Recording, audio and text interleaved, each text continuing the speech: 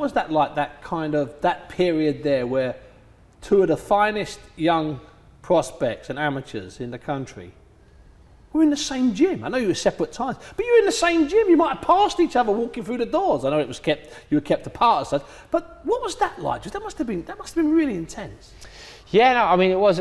I I was a big lad for, for, for my weight and age, so I, I always um, trained with the guys, and there was a really good crop of fighters who were two, three years older than me, and obviously James DeGale was one of them. So we did lots of sparring together, we did lots of training together, and everyone got on. You know, it was a tight knit club. You know, you couldn't not get on because. Well, Mick made sure you did get on, didn't he? That was one of his things, if I'm not mistaken. Well, yeah, yeah, and and. Um, just yeah, there was. I mean, there was there was never if, if a spar got sort of out of hand, it was addressed straight away. There was there was no right. We'll finish this outside, you know, on the cobbles in our own time or anything like that. You know, everyone had to get on. Um, and yeah, Mick, Ernie, Peter, everyone who was involved in the gym yeah. would make sure of that. Um, but like always, you know, we, we went from being a successful junior club to a successful senior club. Once you become seniors, you're going to have to fight each other. Yeah. Um, you can't be separated by weight and age. Um, and DeGale, who was a fantastic amateur boxer, um, mm. won two ABA titles, won a bronze medal in the Commonwealth Games, but we were going to have to meet because we're the same weight and we both want the same thing. Um, and Mick done the, the, the, sort of the best he could. We didn't really do any, we didn't do any sparring together, but none of us got any preferential treatment. Um, we came in on the same same day, same same nights. Um, did the pad work, you know, did everything that was was available. We just literally didn't spar each other. Um, and then we just on for we had to, we had to box, you know, and that and from there, of course, it, become a, fa a famous rivalry.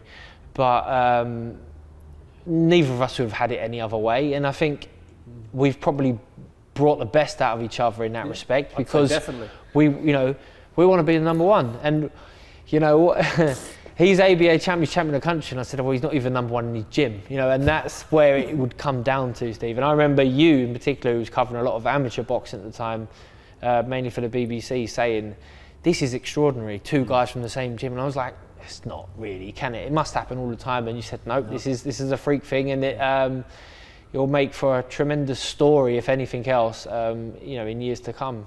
And and it, and it did, and, and obviously. Uh, I beat James, but then he went on to win an Olympic gold medal. Yeah. So, um, I mean, I'm I'm proud for the club yeah. that this club produced an Olympic champion. Yeah. Um, so you um, should be. So, you know, of course. uh, anyone else would think, oh, it could have been me. It, but, it could have been you. Yeah, it could have whatever, been you. It could have been you. Yeah, it could have been me. It wouldn't have been me. I didn't have it. Like, but um, I was proud when he won his first ABA title, James, because I was his sparring partner for that. Okay. Uh, and you know, I was proud for the club, and I still am. Every bit of success that this club produces, um, I'm proud of the club, and I'm happy for Mick and everyone else who have volunteered and dedicated um, so much time and energy into helping others more than anything else. That's, that's, that's all it is.